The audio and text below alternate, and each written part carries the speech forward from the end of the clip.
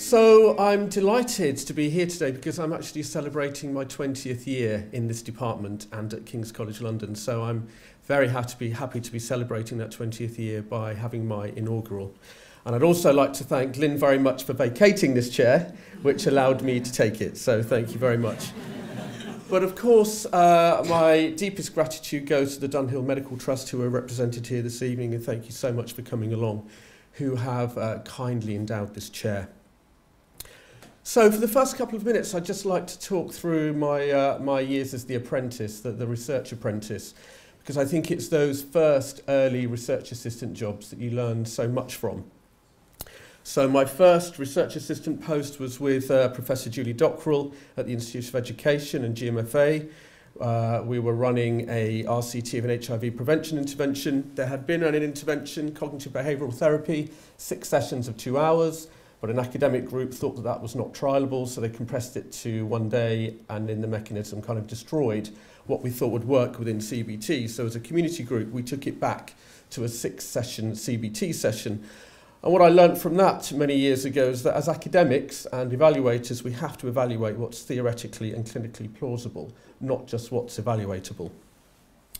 I then had the great pleasure to move up to UCL and to work with Professor Lorraine Scher, where we worked on a project looking at welfare rights in primary care, and we, we produced a few academic papers and a nice report, which I then think sat and gathered dust on the shelf within the, uh, within the Health Trust. Kind of, I think I learned very early on then that commissioners of research don't always have an implementation plan. Then moved on to City University to Professor Susan Gollenbach, where I ran a randomized control trial for Durex, and we had uh, some really important findings which were, were really, really challenged practice and showed us the best way forward. And the community and health uh, promoters really rebelled against that. And I learned very early on as a naive researcher that the provision of evidence doesn't necessarily lead to change in practice.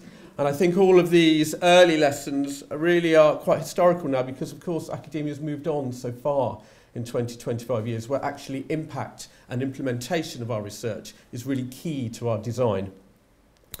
My other post was with uh, Professor Avram Sher at the Institute for Advanced Legal Studies. I have no legal training at all, but I became his researcher and he would come into my room and say, Richard, I want you to do an evaluation of solicitors' use of legal aid under tolerance, of which I didn't even understand the question. And, and he would say to me, Richard, I'd like you to evaluate the success of international trademark training Didn't understand the question, but we would have this routine whereby he'd ask me to do something, I'd protest, he'd ignore me, and I'd do it anyway. So I think I learned quite early that actually with the right team around you, you can tackle the new. And that lesson is a lesson that I really try to play at now with my postdocs, that you can take on the new and you can take on new challenges. So I think those early RA jobs are really, really crucial in skills building. So then, really exciting. 1998 came to study under Irene as my first supervisor under a PhD studentship, looking at a short-term group intervention for informal carers of patients attending a home palliative care service. Because I've been working in palliative care and now able to work full-time academically, working with St Christopher's and the Bloomsbury team. I see Rob George is here, who was the consultant at Bloomsbury mixed methods evaluation.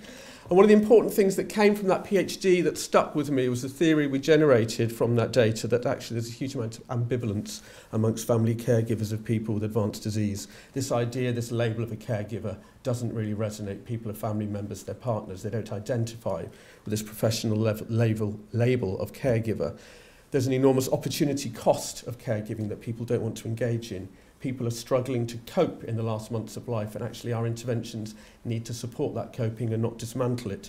And also actually as palliative care we talk about patients and families being the uh, recipient of our work but actually families don't see themselves as credible recipients. They think that all attention should be focused on the patient. So a number of uh, things were revealed in this data that have really stayed with me over the last 20 years. So post PhD, I then took up a fellowship via Columbia University to Washington, D.C., where I was working in the Health Resources and Service Administration through the National AIDS Office at the White House. And this was a very exciting time because it was the beginning of PEPFAR, the President's Emergency Plan for AIDS Relief, a $45 billion five-year renewable cycle of funding. And I was right at the very beginning of that. So that was hugely exciting. And we were able to make sure that palliative care was very central within that. And this built back in back in uh, back in that time with Columbia University, where we were able to demonstrate that palliative care improves pain and symptom control, anxiety and insight for people with advanced HIV. We were also able to model the evidence and show actually there was poor uh, access and equity for uh, people living with HIV. A lot of work with Lorraine Share up at UCL showing that symptoms really matter in HIV because they're related to quality of life, adherence to treatment, treatment switching, suicidal ideation, uh, risk-taking, and viral rebound. So the evidence was building over time. And then most recently, we showed with the uh, University of Brussels that when we look across 14 high and middle income countries, people living with HIV are far less likely to die at home compared to cancer patients. So this has been a theme over a number of years, but I come back to my last slide. The important thing is the impact. What do we do with this? So I'm absolutely delighted that this year the new standards of care for people living with HIV were launched across the UK and I was invited in and for the first time there's a whole chapter and set of standards on palliative care for people living with HIV. So I'm absolutely delighted with that. So coming back from DC, uh, I see Olivia Dix is here from the Diana Princess of Wales Memorial Fund, who commissioned me to conduct a systematic review of the evidence for palliative care in sub-Saharan Africa. And the really important conclusion from this paper, which we managed to get into the Lancet, was actually that although there was great innovation and in practice on the ground, there's very little evidence. And we felt that the primary reason for that lack of evidence was the absence of a valid and reliable outcome measure suitable for the African context. So that led to my first major grant, funded by the Big Lottery Fund. So we conducted a systematic review with the support of the Diana Fund. Then with the US government, we conducted a survey nationwide asking providers what mattered, and they said we need to be able to measure outcomes. So that was the green light then to really uh, conduct this research. We worked with multi-professional teams across countries to understand what a measure should look like and how it could be used in practice. Then we developed the African Palliative Care Outcome Scale in eight countries, and then the final validation happened in five sites in Uganda and South Africa. So while we, uh, we promotes the use of measures in routine practice. It's really important that clinicians are able to trust the measure that we provide. So all the psychometric work, the years of work that went behind that development is absolutely essential. And I've given you here some examples of the data from the African POS, but also some work we recently published from Thailand on the validity of our outcome measure. Because this is really important if we're going to be able to convince clinicians to use this in routine practice, they need to know that it reflects what matters to patients and families, it's going to detect real change, and that change is going to be interpretable. And this work has gone so far now, I and mean, I'm delighted that the, the palliative care outcome scale family of measures are now being used in over 120 countries around the world, and we have over 10,000 users registered around the world using this. So it's had enormous impact. So in the low literacy setting, we need to think very, very carefully about how people may be able to score their outcomes and working with Hospice Africa Uganda, who'd been pi pioneering a hand score method. We looked at the validity of a verbal self-report against a hand score, which would go from zero, no pain, up to five being worst pain, compared to the FACES scale, which some of you might recognize from pediatrics, and compared that to a jerry can and kind of marking a jerry can for fullness. And we compared that and looked at uh, what might be the most uh, reliable way of measuring pain. And we could see that actually the hand scale had superior, superior ability to predict high pain symptoms compared to the FACES scale and the jerry can. And now that hand scale is, has been rolled out across Africa. But the important thing is what do we hear back from the field? And I think this paper is really important in reflecting on what's happened with outcome measurement in Africa. This paper was led by a group of Africans who came together to talk about outcome measure. We had 72 delegates from 16 countries, and I think this quote is really important. Measuring the quality of care provided was problematic without rigorously validated outcome measures that were suitable for use within the resource constrained and culturally different African context. And I think this is really, really important feedback. And now it's embedded. So if you look at the African Palliative Care Association guidelines for use of outcome measures, they are being now applied across Africa. The African standards and uh, methods on how to use the measure for routine clinical audit in palliative care. The hospice palliative care standards in Southern Africa require you to use the POS if you're going to achieve a five-star hospice status, which is the highest marker of quality. And within the African palliative care standards, you have to be using an outcome measure to achieve the stated goals of care. So I think we've come a long way with measures, but that's, we need to think more broadly than just measures. So we look back at the WHO foundation measures for how to establish a public palliative care service. They talk about drug availability, education and government policy and you need an implementation strategy to underpin that and what I've argued in this paper in Lancet Oncology is that's great, but we must be generating primary evidence to inform that drug availability, that government policy and that education. And I'll just give you an example now how we've achieved that. If we look particularly at drug availability, This was funded by USAID, so uh, US government money through uh, measure evaluation at the University of North Carolina with the African Palliative Care Association. We interviewed the International Narcotics Control Board representative in 12 ministries in Africa, and we also spoke to pharmacies. The ministry identified opioids that we never found available in any facility. And I'll give you some examples. In Ethiopia and Namibia, there was no morphine, there was no codeine, there was no pethidine, and that was contrary to the ministry's belief. We then went on to be commissioned, I think Vicky Sims is here who worked on that. Um, we went on to do a large public health evaluation, the largest ever commissioned by the US government, and we did a, a review in 120 pharmacies in Kenya and Uganda. And of course, stockouts are really important because we need to be measuring stock levels because you don't want breaks in pain management. So we found within these pharmacies a maximum of half drugs available had a stockout level specified. So stockouts are a massive issue. But really important, we talk so much about opioids and step three analgesia. In these 120 pharmacies, we found that normally, uh, that nearly a third had no step one analgesics, so no paracetamol. And only 7% had an opioid, and those were mainly injectable, which is not optimum uh, methods for pain control. So following on from that, I was delighted to win a uh, FP7 award, uh, Coordinating Action from the EU, and PRISMA aimed to enhance outcome measurement for advanced cancer patients here in the UK and across Europe with two African partners as well. We had a number of work packages led by uh, leading universities across Europe in palliative care research. So we had an anthropologist looking at cultural differences in end-of-life care across Europe, uh, public preferences and priorities for end-of-life care, clinical research priorities, best practice measures for how to use tools, best practice in symptom measurement and also a, a strong focus on older people and long-term care settings. So that was a really exciting, this had an enormous amount of outputs and is still now uh, informing successive grants. In fact, we recently got another EU grant, which again has built on this focus of measurement. This is interesting data.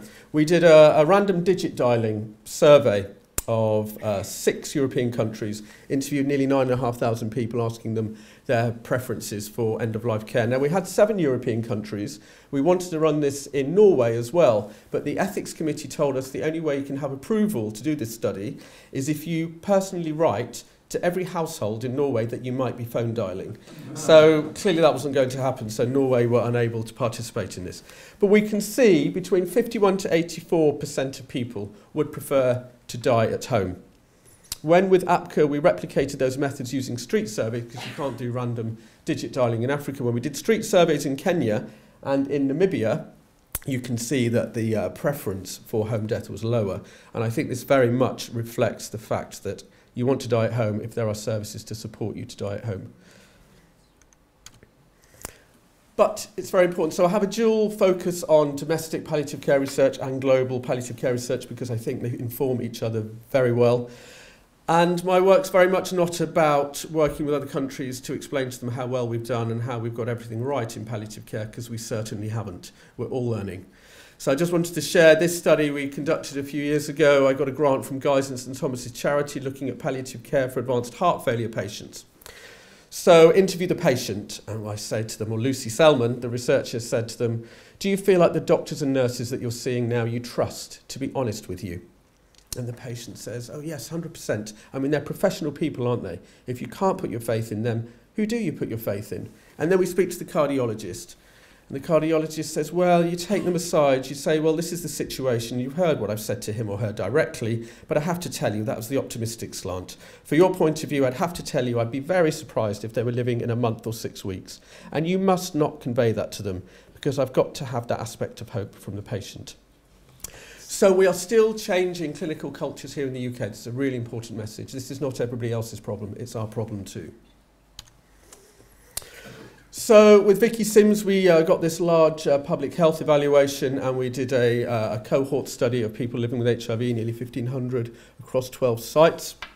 And we were looking at their outcomes over time. And we could see using the African Palliative Care Outcome Scale what their main concerns were. And we can see that nearly a fifth had severe problems with worry, nearly half severe problems with sharing how they were feeling, and a third severe problems with getting help and advice. So clearly, clearly a massive psychosocial need, in addition to that 10% of people who have severe pain. So it's really important, as we often say in this institute, to not admire the problem, but to find solutions and interventions to solve that problem. So we developed, again with the Diana Princess of Wales Memorial Fund, a randomised control trial of a brief, low-cost intervention for people living with HIV in Mombasa, in Kenya. Because it's important that we don't propose interventions that people couldn't afford to uh, continue outside of a trial situation. So it was two-week training and, and then ongoing mentorship for existing nurses within the clinic. And we randomised 126 patients to this assessment and monitoring and long-term long-term care planning versus standard care. And we were able to show in this pa paper in Lancet HIV that the top care trial demonstrated improvement in the mental health dimensions of quality of life in psychiatric morbid morbidity and on the African palliative care outcome scale, particularly on the psychosocial items. So then, uh, with the family, we moved on a uh, sabbatical to the University of Cape Town, where I took up a visiting professorship in 2010, which was funded, uh, funded by the Open Society Foundations. Did an interesting study there with the uh, Abundant Life Palliative Care Service at uh, Victoria Hospital in Wynberg in the Western Cape, where they introduced a hospital-based palliative care service, which was literally one nurse and a fifth of a doctor who were supporting the wider hospital team to identify palliative care patients and improve their palliative and end-of-life care and make a care plan to get them home. And when we did an observational study comparing the last 28 uh, days of life before and after the introduction of this project, uh, we were able to show that we reduced the number of admissions, we reduced the mean number of days per admission, we rapidly increased the home death rate and saved admission costs. So that was very exciting. And then, of course, th this is uh, not outcome data, so subsequent to this, we were able to secure Horizon 2020 money for our quality improvement and outcomes-focused add-on study. So I think one of the advantages of having a dual domestic and global program is that I'm able to learn what we might uh, learn from low middle income countries and bring back to the UK. And in fact, I was in a meeting this morning at King's has just uh, employed a professor who's focusing specifically on low intensity and low cost technologies and what we can import into the NHS. And that professor's about to start, and I think that's a really, really exciting dimension to our work. So paediatrics is certainly something that I'm learning about from Africa and now we're implementing here in the UK. So the Medical Research Council has uh, identified children and end of life as urgent areas for outcome measurement development. Uh, Lucy Coombs did a, an MSc with us and her systematic review from that MSc identified that there was no valid outcome measure for children and young people at the end of life. And also evidence uh, for symptoms and concerns. Uh, Eve Namisango, PhD student with me, has just published this review showing that actually the evidence that we got is often not self-report from children and young people.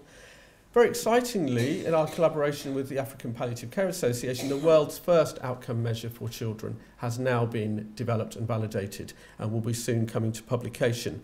And I'm really excited to have got a European Consolidator Award to take that learning from Africa and conduct a study here in the UK and then spread that across Europe in terms of delivering a valid and reliable outcome measure for children. Now, this is incredibly complex. There's huge heterogeneity in these children. They often have additional communication needs. We need to think about what self-report means and what a core outcome measure may look across ages, but as well developmental stages. But this is really exciting work. And also, I'm really pleased that this project is going to be the first time that Great Ormond Street, the Evelina, the Marsden and King's have come together and these are the four centres of paediatric palliative care. So this is very exciting.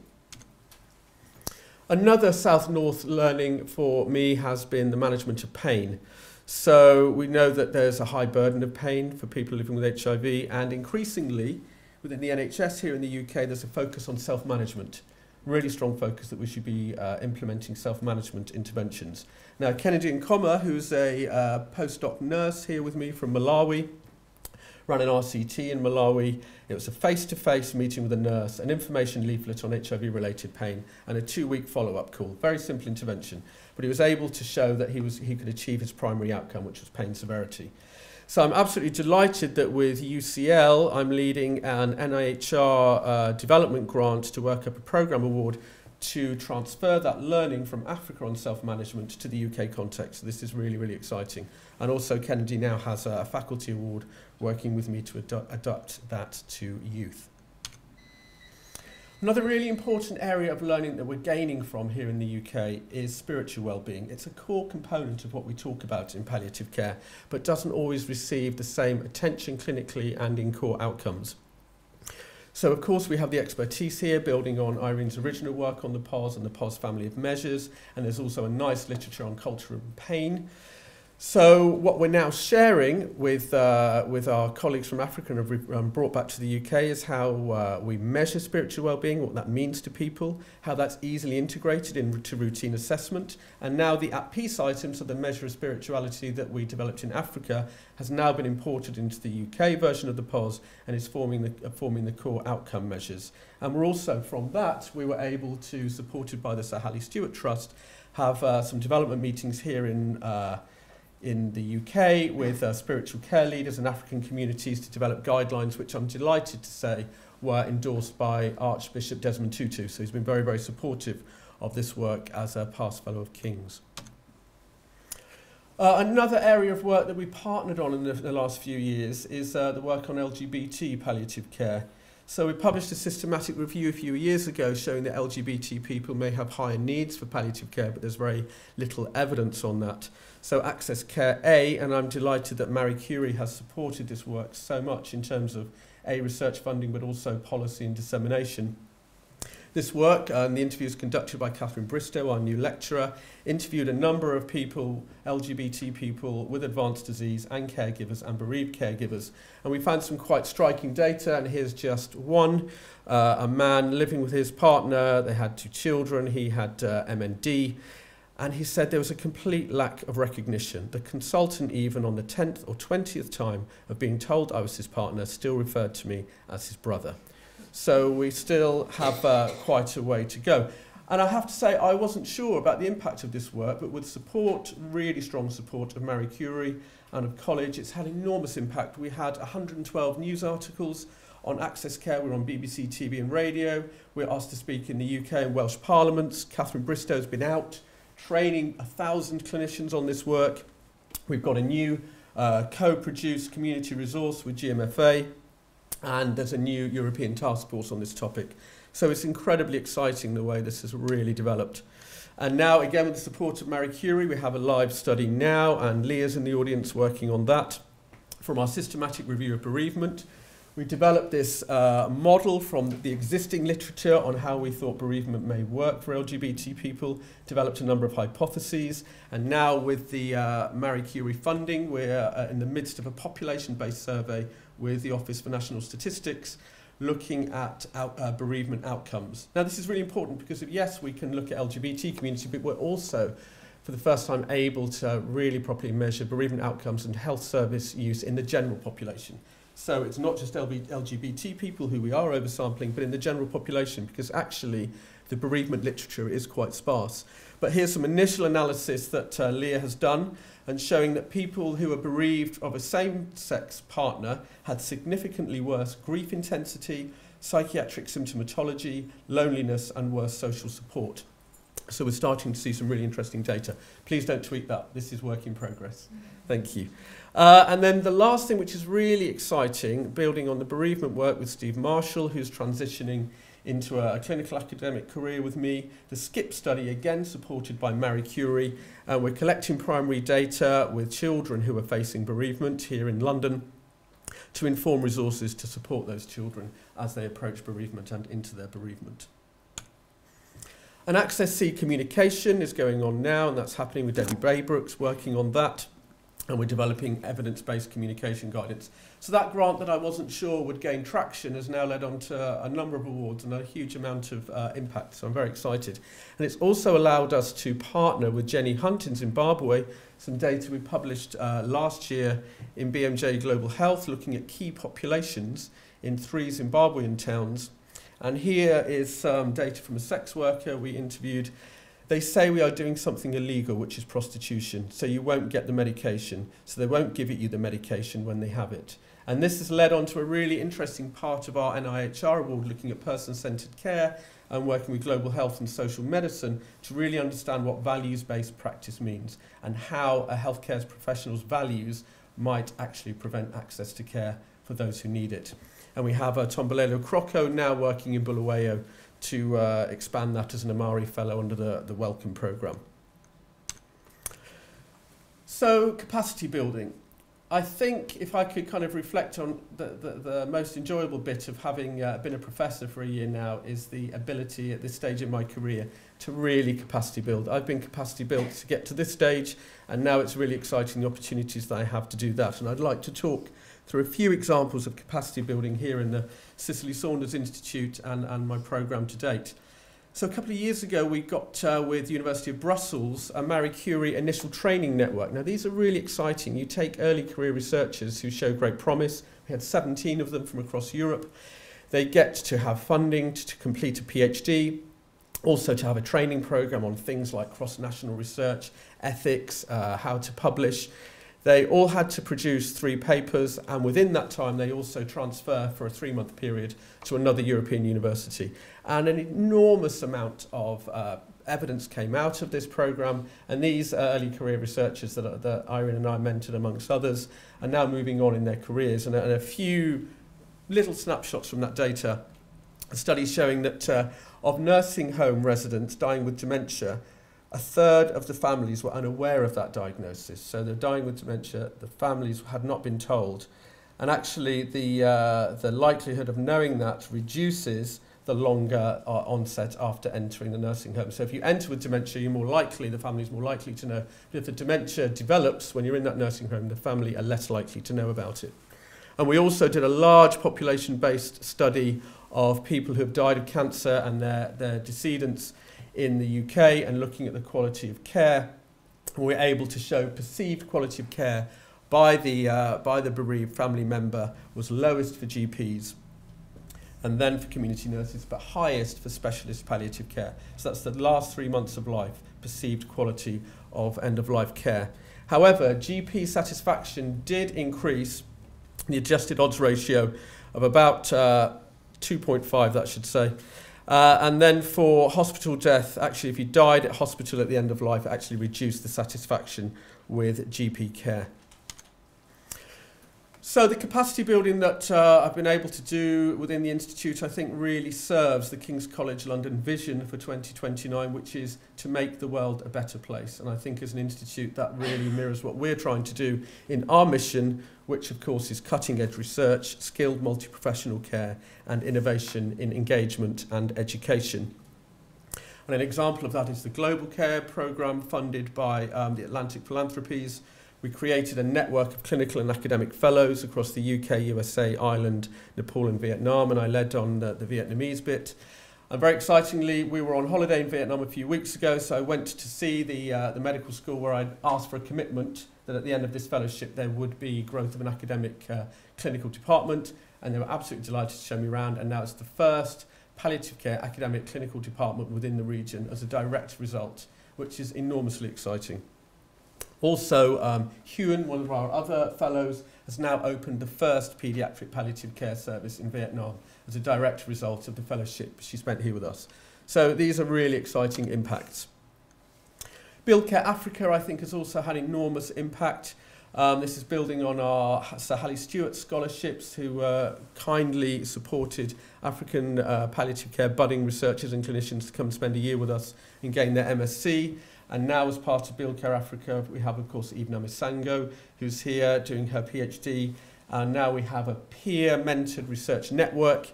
We have the African Research Seminar, which I'm delighted to say is now entirely led by my African colleagues, which is fantastic. And also we've got a number of really exciting research projects happening under this mentorship programme. So Barbara Mutedzi has just closed recruitment on her feasibility trial of a lay community bereavement intervention in Zimbabwe. Uh, Jonathan Bayuo in Ghana is developing evidence-based clinical guidelines for end-of-life care for people with severe burns because that's often a cause of death within sub-Saharan Africa. Andrew Olugunju in Nigeria is recruiting to a cohort of uh, renal patients and very well aligned to our funders, I think, to the Dunhill Medical Trust. We have Nassau Bayinza working with me to run an RCT of a palliative care intervention for people with TB. So I think there's a nice link back to our funding there. We also, I'm delighted to say, under the Global Challenges Research Fund, are now working with the Global Cancer Policy and the War Studies team, working with Ping, my, my postdoc, leading a partnership with Turkey and Jordan to develop better palliative and end-of-life care for refugees and displaced people in the Middle East, which has been quite challenging and exciting at the same time, and we're trying to understand what additional outcome matter to people who may be refugees and displaced people and what that means at the end of life and to improve the quality of that care. And some data has literally just come in, in the last few weeks. Here's data from two women with advanced breast cancer in Jordan, both of whom are Syrian refugees. One says, My mentality is ruined, my body is ruined. I wish someone would support us, but there isn't any. Who would I talk to? There's nobody. I wish we'd return to our country. I don't know if we ever will.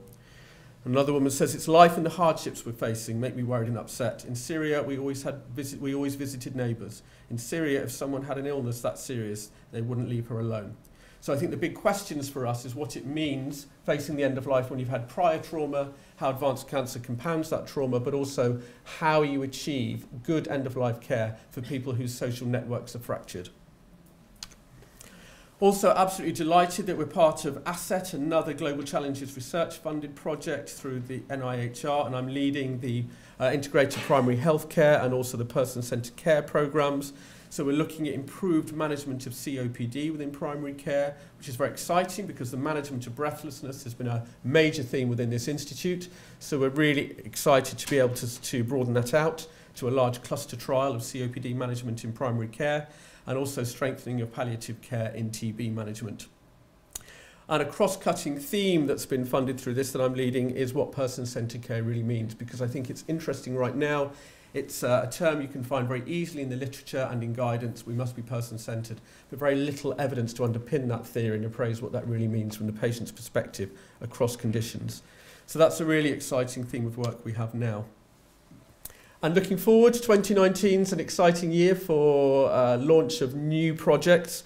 So with Steve, we'll be launching the SKIP Childhood Bereavement Project, but also another project here in the UK, understanding out-of-hours care, because out-of-hours care is really, really important for patients and families living in the community at the end of life but there's very little understanding of what the typology of those models are and also the uh, availability of different components of care and also how we think they improve outcomes. So we're trying to understand those models of care and also understand what the perceived mechanisms of action and uh, improved outcomes are for receiving good out-of-hours care. And once we've done that work, then we'll be able to much better evaluate that care and also improve it. Uh, also a study we're launching here in, uh, in the UK, uh, particularly working with uh, Belfast University, a new European grant that would be launching uh, after Christmas, DIADIC, which is a five European country randomized control trial of a psychoeducational intervention for family caregivers and advanced cancer, and we'll be looking at uh, online versions of that and how effective that is through the National Institutes of Health with the University of California, San Francisco. Starting in February, we're going to be building on their stigma program because they've been doing lots of work on stigma and HIV, taking that now into the Cancer and Advanced Disease uh, Forum and understanding what that might mean. Very exciting, and please don't tweet this, and uh, I can't say too much, but uh, Liz Sampson from UCL and Catherine Evans from here in the department I'll be working with, and they will be making an announcement very soon. I'm delighted that we've got a major programme grant award about to, to happen looking at person-centred end-of-life care for people with dementia here in the UK. But uh, you'll be hearing from them very soon about what we're going to be doing. And lastly, just launching now a very exciting uh, new development in our outcome measurement work, looking at digital technologies, so enabling patients to real-time report their outcomes and their symptoms and concerns to uh, their healthcare providers and working out the best systems for that data management. And we're looking forward to this really being an exciting stream of research in the coming years. Just wanted to finish on this slide. Um, First of all, I want to thank again the Dunhill Medical Trust for enabling me to be here today and to have a vision for the future. It's very, very exciting.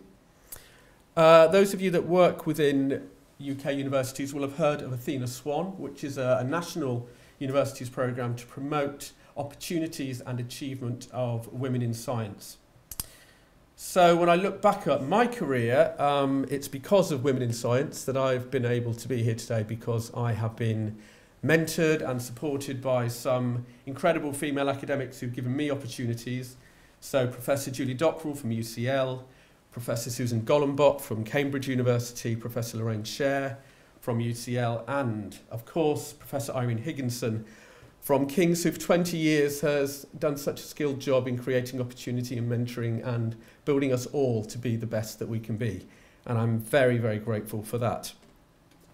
Um, also, in terms of Athena Swan in creating opportunities and enabling us to identify talent and develop it, of course, fitting parenting within that. So, within the period of my time here at King's, Jason and I have adopted two children and uh, I've been able to advance my career while us taking on the kids, and I'm very grateful, of course, to uh, Jason and Mum who pick up the childcare while I'm travelling. So thank you very much for that. And also these logos I'm very proud of at the bottom as a faculty. We are proud of our promotion of equality of opportunity, finding diversity and talent. And over 20 years in this institute, I've seen that diversity grow and the ability to find talent and nurture it. So these are not empty, uh, empty logos here. They really mean something. As an institute, I think they're important. I come from a family of very humble means. Uh, further and higher education didn't mean anything. So for me to be here at a prestigious institution like King's, where talent is nurtured, is uh, incredibly important. So thank you very much to Irene and thank you to Dunhill Medical Trust. Thank you.